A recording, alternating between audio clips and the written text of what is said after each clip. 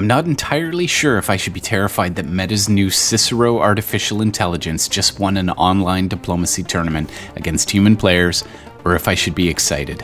Finally, we have an AI that will erase the need to gather seven players for this classic board game. But on the other hand, my post Terminator 2 fears of Skynet achieving sentience and enslaving humanity is one step closer. Today, we'll look at what this means for diplomacy, board gaming, and most importantly, for the future of humanity. This is Legendary Tactics. There have been several seismic shifts in AI capability. In 1940, the Enigma machine was decoded with AI in World War II. In 1950, Alan Turing released a test to test for machine intelligence. In 1961, Unimate, the first industrial robot, was introduced.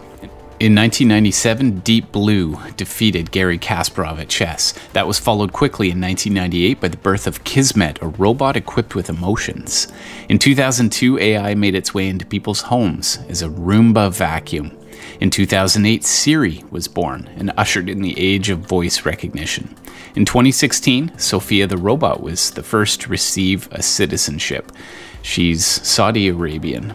And just weeks ago, ChatGPT was released. It's a chatbot that can answer questions and even write original essays.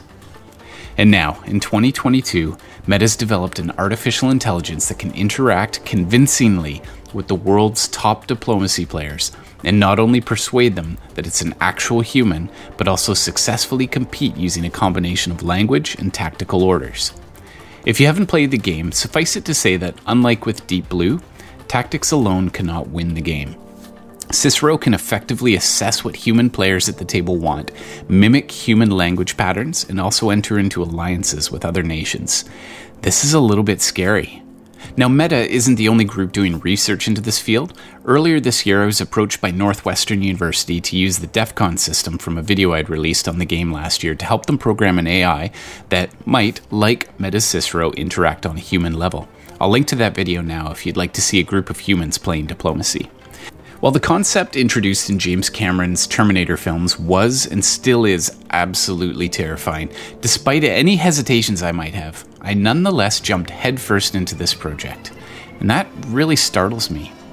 So I have to ask why are we, and I say we, including myself in the term, why are we so keen to push AI technology forward when we know it'll increasingly take jobs from humans? It'll beat us at our own games and also distance us from real human interactions. Why are we so keen to make ourselves redundant? AI has a lot to offer. After all, they don't make mistakes as much as humans do. They can be used in risky situations like defusing a bomb, or they can do repetitive tasks that humans don't want to do, and so on. But do we really want to program an AI to outperform us in the workplace and also now in our leisure time? Once the genie comes out of the bottle, we can't just stuff it back in because there's little desire in humanity to unlearn progress. So, when do we put a leash on AI?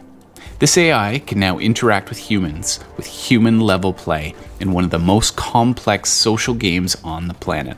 It can study millions of games to determine the optimal set of orders. But more importantly, it can convincingly work with humans with its press system in a text based format. If this isn't at all unsettling to you, I'm sure your closest digital assistant can relax with you while you watch The Matrix or Blade Runner Ex Machina, 2001 A Space Odyssey, or even that really creepy movie, Her. What happens when dating services start using chatbots to meet the needs of underserved demographics? When we're being watched everywhere all the time, and when AI starts taking on decision making roles more and more, because not only are they more efficient, you don't have to pay them as much, and they're also able to outthink humans. Is that when we need to limit how and when AI is used? Or shall we just trust that we'll know the moment that AI can create better art, write more meaningful novels, and even interact more effectively in social board games?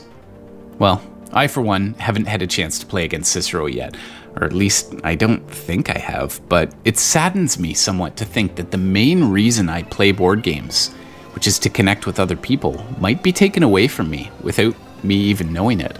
I relish the unpredictable nature of human players. I love that people don't always make optimal moves and that emotion can, in fact, get the better of them.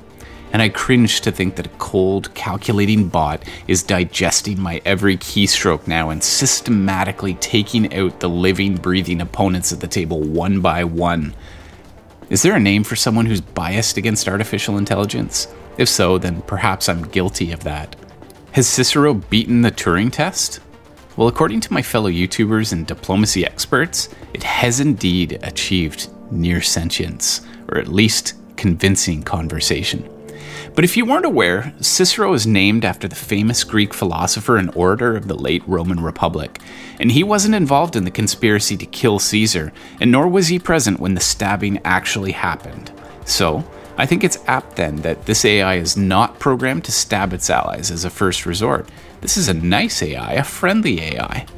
However, it certainly can calculate when it needs to backstab an ally.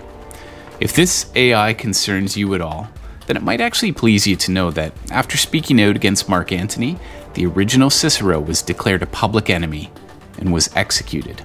So if this new Metabot ever gets out of control and effectively kills the board game diplomacy, perhaps the same fate will await this new generation of orator.